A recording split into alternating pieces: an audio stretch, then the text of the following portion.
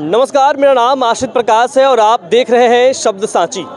अभी मैं मौजूद हूँ रीवा विधानसभा में, जहाँ हम बात करेंगे मध्य प्रदेश चुनाव को लेकर, रीवा विधानसभा के लोगों के मन में क्या है। इस बार यहाँ से चुनावी मैदान में इंजीनियर राजेंद्र शुक्ला हैं, भाजपा से तो वहीं कांग्रेस से इंजीनियर राजेंद्र शर्मा हैं, कांग्रेस से।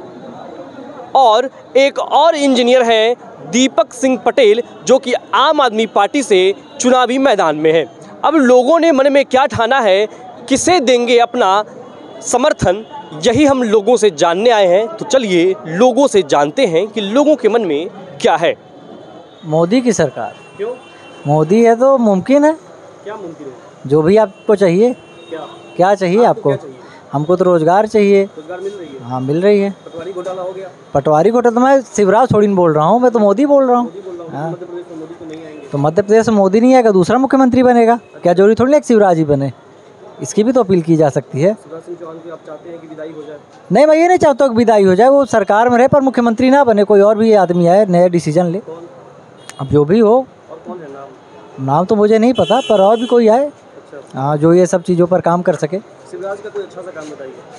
अच्छा सा काम पटवारी घोटाला? अच्छा अच्छा हाँ उसके लिए तो बेहतर ही तभी तो उसने किया। अच्छा राहुल गांधी के बारे में क्या कहेंगे? राहुल गांधी यहाँ कहाँ आएँगे? राहुल गांधी यहाँ कहाँ आएँगे? हाँ। सत्रह तारीख को है वोटिंग शायद। वोट डालेंगे आप? नहीं मैं तो नहीं डाल पाऊँ वोटर आईडी कार्ड नहीं है ना अभी? उम्र तो लग रहा है उम्र लग रहा है पर वोटर आईडी कार्ड नहीं बना अभी। हो गया नहीं बन पाया कुछ चीज़ का। आधार कार्ड नहीं है जागरूक हैं आधार कार्ड अपडेट नहीं इस वजह से नहीं बन पाया अभी। हाँ। रोज़गार है आपके पास? हाँ रोज़गार है। मैं अभी एक ट्यूटर हूँ कोचिंग पे चलाता हूँ। हम्म। सरकारी नौकरी? सरकारी नौकरी लगी थी पर ज्वाइन नहीं हो पाया। हो गया कुछ पर्सनल इशू था। हम्म। विंध्य क्षेत्र जो कि भाजपा का गढ़ रहा है पिछले कई वर्षों से और जो रीवा सीट है विधानसभा सीट है जहाँ मैं मौजूद हूँ अभी यहाँ भी जो है कांग्रेस का सूखापन रहा है। मतलब इनके लिए रेगिस्तान साबित हुआ है। एक बार फिर से इंजीनियर राजेंद्र शर्मा जो है इंजीनियर राजेंद्र शुक्ला के सामने हैं। इस बार के चुनाव में क्या कुछ उम्मीदें हैं राजेंद्र शर्मा जी के लिए? देखिए, जहाँ तक आपने इंजीनियर से इंजीनियर की तुलना की है तो इंजीनियर राजेंद्र शर्मा बिना विधायक बने, उन्होंने अपनी इंजीनियरिंग को साबित किया है और रीवा के अंदर शिल्पी प्लाजा बनाया। जो शिल्पी प्लाजा है वो रीवा की पहचान के रूप में जाना जाता है, वो रीवा मॉडल के रूप में जाना जाता है और राजेंद्र शर्मा जी की निष्ठा इस बात से प्रतीत होती है शिल्पी प्लाजा के माध्यम से कि राजेंद्र मिश्रा, राजेंद्र शर्मा जी का विज़न बड़ा है। दूसरी तरफ़, जहाँ राजेंद्र शुक्ला जी की बात आपने कहा है, राजेंद्र शुक्ला जी ने तो जो भी काम किया है, वो सरकारी ज़मीनों को बेचने का काम किया है एक इंच ज़मीन इस रीवा शहर के अंदर नहीं है। हमारे राजेंद्र शुक्ला जी जो मंत्री भी रहे कई बार उन्होंने खोज खोज के ज़मीनों को बेचा है उससे व्यापार व्यवसाय व्यवसाय बढ़ाया है और राजेंद्र शर्मा जी का विजन राजेंद्र शुक्ला जी से कई गुना बड़ा है। लेकिन वो तो कह रहे हैं कि पहले का रीवा और आज के रीवा में बहुत अंतर है आज का रीवा चमकता हुआ रीवा है बड़े बड़े बैनर पोस्टर लगे हुए हैं बाहर। आप बैनर और पोस्टर से किसी शहर की चमक नहीं देख सकते। आप देखिए 20 वर्ष पहले रीवा में कितने लोगों को रोज़गार मिला करता था। आज राजेंद्र शुक्ला जी हिसाब दे दें रीवा के अंदर 20 वर्षों में कि रीवा शहर के अंदर, ज़िले की बात छोड़ दीजिए, शहर के कितने नौजवानों को रोज़गार या सरकारी नौकरी या गिनती कर लें कि कितने पढ़े लिखे नौजवान बेरोजगारी के मार से भटक रहे हैं इससे रीवा की चमक की पहचान होगी। अच्छा। आप कह रहे हैं कि राजेंद्र शुक्ला जी का काम अच्छा नहीं रहा इस पंचवर्षीय में या फिर वो जब से विधायक हैं तो फिर भी जब इनका काम अच्छा नहीं रहा तो कांग्रेस अपना जगह क्यों नहीं बना पा रही है? कांग्रेस को हर बार यहाँ पर जीत का ही सामना क्यों करना पड़ रहा है? वो सारे मिथक जो हैं भ्रम जो हैं इस बार टूटेंगे। आप रिपोर्टर हो आप चैनल के चलाने वाले लोग हो मीडिया के लोग हो आप शहर के अंदर घूमिए। यहाँ का नौजवान, यहाँ का आम मतदाता जो है, परिवर्तन के मूड में है और भारी परिवर्तन की संभावना है रीवा शहर में भी और रीवा ज़िले में, प्रदेश में भी। एक सवाल और है मेरा। इंडिया गठबंधन और इंडिया गठबंधन के घटक दल, आम आदमी पार्टी भी आपके यहाँ प्रतिद्वंदी हैं, वो भी इंजीनियर हैं, युवा हैं, दीपक सिंह पटेल है। तो यहाँ पर इस इंडिया गठबंधन का क्या हो गया? यहाँ आपके खिलाफ ही ये प्रत्याशी उतार दिए हैं और पटेल हैं तो पटेल वोट और ब्राह्मण ब्राह्मण वोट जो बटेंगे और फिर पटेल वोट का जो है सो काफ़ी संख्या है रीवा विधानसभा में। रीवा देखिए, जागरूक मतदाताओं का क्षेत्र है। यहाँ कोई जातिवाद पर वोट की बात नहीं होती है। यहाँ तो इस बार का जो वोट है, वो आप समझिए कि रीवा के भविष्य का है। नौजवान के भविष्य का है, कानून व्यवस्था के, को लेकर के है। स्कूल, कॉलेज की शिक्षा में बेहतर सुधार के लिए और इस तरह के एजुकेशन के संसाधन बढ़ाने के दृष्टिकोण से रीवा में इस बार का चुनाव है। जहाँ तक राजेंद्र शुक्ला की आप बात करते हो, मैं तो आपसे पूछना चाहता हूँ और मैं आपके माध्यम से उनसे भी सवाल करना चाहता हूँ कि अवधेश प्रताप सिंह विश्वविद्यालय की स्थापना कांग्रेस के ज़माने में हुई। दूसरी कोई, चाहे मेडिकल के यूनिवर्सिटी हो या इंजीनियरिंग के क्षेत्र में कोई ऐसा संस्थान हो जो राजेंद्र शुक्ला जी ने खोलने का प्रयास किया हो। आप समझिए कि यहाँ का TRS college, science college, model school Sanjay Gandhi hospital, तमाम ऐसे संसाधन जो हैं, जो रीवा की मूलभूत पहचान है, वो केवल कांग्रेस के ज़माने में स्थापित हुए। यहाँ तो आप समझिए कि एशिया का सबसे बड़ा प्लांट कहते हैं कि सोलर प्लांट जो है, आपके गुड़ में लगा है। लेकिन आप उसमें जाँच करिए सर्वे करिए कि रीवा के कितने नौजवानों को रोज़गार देने का काम उस सोलर प्लांट में माननीय राजन शुक्ला जी के माध्यम से या उनके नेतृत्व में या भारतीय जनता पार्टी की सरकार ने देने का काम किया है। तो यहाँ तो सिर्फ़ बैनर जैसा कहते हैं कि बैनर लगा के और आपने सड़क थी। ये हमारे यहाँ जो बाईपास से लेकर और आपके रेलवे स्टेशन तक, उधर के बाईपास तक जो सड़क जाती है, पिछले 20 वर्षों में कम से कम 50 बार इसको खोदा गया, बनाया गया, खोदा गया, बनाया गया, यही काम चलता रहा। कुल मिला के रीवा के संसाधनों में सरकारी पैसे की लूट राजेंद्र शुक्ला जी के नेतृत्व में होती रही। एक सवाल जो आप शायद छोड़ दिए मैं इंजीनियर दीपक सिंह पटेल के बारे में पूछ रहा था और इंडिया गठबंधन के बारे में पूछा था। देखिए ये हमारे राष्ट्रीय नेतृत्व का प्रश्न है। राष्ट्रीय स्तर पर जो भी इंडिया गठबंधन के संबंध में बातें हैं या जो भी निर्णय हैं उस संदर्भ में हमारे राष्ट्रीय नेतृत्व से सवाल जवाब अगर आप लोग करेंगे तो मैं समझता हूँ कि ज़्यादा बेहतर वो जवाब देंगे। उस संदर्भ में मुझे कुछ नहीं कहना। तो यहाँ क्या इंजीनियरिंग दीप जो दीपक सिंह पटेल हैं नुकसान पहुँचा रहे हैं आप? इंजीनियर दीपक सिंह पटेल चुनाव लड़ रहे हैं। स्वाभाविक चीज़ है कि वो हर तरह से कोशिश करेंगे वोट लेने का, प्रयास करेंगे, वो अपनी बात रखेंगे। भारतीय जनता पार्टी के जो प्रत्याशी हैं अपनी बात रखेंगे।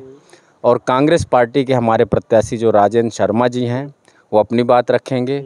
और सबसे बड़ी बात मध्य प्रदेश के अंदर आपको कोई आम आदमी पार्टी का कोई असर इसलिए नहीं है कि ठीक जिस तरह से कर्नाटक में ग्यारह विधायकों को भारतीय जनता पार्टी के लोगों ने खरीद कर कांग्रेस पार्टी की सरकार को तोड़ने का काम किया था और उसका जवाब कर्नाटक की जनता ने 136 सीटें कांग्रेस पार्टी को देकर प्रचंड बहुमत के साथ सरकार बनाने का काम किया है। उसी की पुनरावृत्ति आपके मध्य प्रदेश में होने वाली है कि मध्य प्रदेश में कमलनाथ जी के नेतृत्व में चलने वाली वो सरकार जो किसान का कर्जा माफ़ कर रही थी। जो बिटिया की शादी में पच्चीस हज़ार रुपये जो मिलते थे, जो दलाली के भेंट चढ़ते थे, जिसे इक्यावन हज़ार रुपये किया। जो पेंशन की राशि को तीन सौ से छः सौ रुपया किया था और एक हज़ार करने का जिनका लक्ष्य था, जिनके नेतृत्व में सौ यूनिट बिजली का बिल मात्र सौ रुपये लगा करता था। ऐसी सरकार को तोड़ के और जन विरोधी सरकार, लूटपाट की सरकार जो शिवराज सिंह और भारतीय जनता पार्टी के लोगों ने बनाया था उसका जवाब देने के लिए सत्रह तारीख का इंतज़ार इस मध्य प्रदेश की जनता और रीवा ज़िले की जनता कर रही है। और मैं आपको बताना चाहता हूँ, आपको ये सारी जानकारियाँ भी हैं कि तमाम ऐसे सर्वे, ऐसी एजेंसियाँ जो सरकार खुद, उनके आरएसएस के लोग करा रहे हैं और उन तमाम सर्वों में एक ही रिपोर्ट आ रही है कि मध्य प्रदेश के अंदर 145 46 से लेकर 155 60 सीटें कांग्रेस पार्टी को जनता देने जा रही है और प्रचंड बहुमत के साथ कमलनाथ जी की सरकार मध्य प्रदेश में उनके नेतृत्व में बनने जा रही है। कांग्रेस पार्टी की सरकार मध्य प्रदेश में बनने जा रही है। तो सच में इस बार रीवा में जो सुखाड़ है और विंद में जो सुखाड़ है कांग्रेस के लिए वो खत्म हो जाने वाला है? बिल्कुल। जनता में बहुत उत्साह है। इस बार बदलाव की बयार बह रही है। और जो हमारा रीवा है वर्तमान में युवा नशे के चपेट में है। तो नशे से भी मुक्ति दिलाई जाएगी। जब कांग्रेस की सरकार आएगी, पूरे प्रयास किए जाएँगे कि युवाओं को रोज़गार मिले और शिक्षा मिले। शिक्षा और स्वास्थ्य की सुगम व्यवस्था बनाई जाएगी। पुराने जितने शिक्षण संस्थान हैं, उसके अलावा गवर्नमेंट के द्वारा 20 वर्षों में कोई भी नया शिक्षा के लिए काम नहीं किया गया है। और जब कांग्रेस सरकार आएगी तो प्राथमिकता के साथ शिक्षा और स्वास्थ्य में ध्यान दिया जाएगा। श्योर देंगे? तो आपको क्या लगता है भारतीय जनता पार्टी ने कितना विकास किया है? देखिए विकास पे वोट होगी। हम क्या है ये सब नहीं कह सकते हैं कि किसको वोट देना है लेकिन जनता परिवर्तन चाह रही है। हम लोग भी परिवर्तन चाह रहे हैं। तो आपको लगता है कि कमलनाथ या शिवराज कौन परिवर्तन ला सकते हैं? परिवर्तन तो देखिए दोनों ला सकते हैं लेकिन अपेक्षा होती है कि हम नई सरकार आए तो कुछ नया करे। अच्छा आपको सरकार से क्या अपेक्षा है? अपेक्षा अच्छी है विकास करे शिक्षा स्वास्थ्य सड़कें बिजली पानी इस ध्यान दें हो गया किया बहुत कुछ किया है भाजपा ने किया है। क्या कुछ हुआ कहीं कुछ गलत नहीं हुआ सब सही है। जनता चाह रही है थोड़ा सा। परिवर्तन चाह रहे भाई परिवर्तन तो है जनता चाह रही है। हम्म? इस बार के चुनाव में बहुत सारी संभावनाएँ हैं बहुत सारी है कांग्रेस भी है बीजेपी भी है लेकिन विकास की अगर बात करें तो विकास तो बीजेपी ने ही किया है हमारे हिसाब से ज़्यादा बाकी देखिए लेट्स सी क्या होता है। बाकी जनता डिसाइड करेगी क्या होगा। विकास क्या किया है? देखिए, रीवा की अगर व्यक्तिगत रीवा की बात करें तो रीवा में तो बहुत विकास हुआ है। देखिए, आज आप जो बिल्डिंग्स देख रहे हैं, इतने फ्लाईओवर्स देख रहे हैं, बहुत सारी चीज़ें देख रहे हैं, ये बीजेपी की ही देन है। कांग्रेस ने क्या किया? हमारे हिसाब से तो कांग्रेस ने कुछ नहीं किया, बस। रोज़गार के मामले में तो मैं ज़रूर बोलूँगा, ये दो चीज़ें हैं। देखिए, पहली चीज़ तो अगर रोज़गार की बात करें, पहले भ्रष्टाचार ज़्यादा था कैसे भ्रष्टाचार कह सकते हैं कि जैसे पहले आपका जो, जैसे आपने कोई फॉर्म भरा तो पैसे दे के भी काम हो जाते थे, लेकिन अब वो वाला सिस्टम नहीं रह गया कि आप पैसे दे के काम करा सकते हैं। अब आपने पेपर दिया, पेपर निकाला, तभी आपका काम होगा, वरना कोई चांस नहीं रहता है आपका। पटवारी घोटाला, सर, उसका रिज़ल्ट तो हमारे हिसाब से आया नहीं है तो आप ऐसे डिक्लेयर नहीं कर सकते कि बीजेपी दोषी है या कौन दोषी है। जब रिज़ल्ट डिक्लेयर होगा, तब देखा जाएगा कौन दोषी है। देखिए, नेता अपनी जगह सब अच्छे हैं, राहुल गांधी भी अच्छे हैं, उनको भले पप्पू बोले लोग, वो भी अपनी जगह अच्छे हैं, मोदी जी भी अच्छे हैं। बाकी देखिए, जनता क्या डिसाइड करती है, हमारे हिसाब से बीजेपी हमारे लिए बेस्ट है, बाकी सब जानते हैं। नरेंद्र मोदी जी के बारे में? अब नरेंद्र मोदी जी के बारे में हम क्या पूरा देश बोल रहा है तो सब जो बोल रहे हैं, सही बोल रहे होंगे तो बढ़िया है। अच्छे नेता हैं विकास चल रहा है पूरी देखिए पहले देश कहाँ पे था अब देश की आप अगर अपनी काउंटिंग देखेंगे कई सारी चीज़ों में चाहे जीडीपी की बात करें या किसी भी लेवल पे बात करें अपना देश आगे बढ़ रहा है। अगर कांग्रेस के टाइम की बात करेंगे तो आप वहीं बहुत पीछे था देश हमारा। अगर आपकी बात करें तो काफ़ी अच्छा है बेटर है। मध्य प्रदेश में तो इस बार देखिए बीजेपी की ही आनी चाहिए। अब ऐसी चर्चा पे है मार्केट जो माहौल है आप। हम तो देखिए जो है दोनों में खुश हैं। हमारे पास दोनों आदमी हैं। जैसे कि हमारा घर है दोनों हमारे अगल बगल हैं। कांग्रेस बीजेपी हमारे घर के बगल ही है। जो भी रीवा में आएँगे सब बगल में ही रहेंगे। अमैया में हाँ।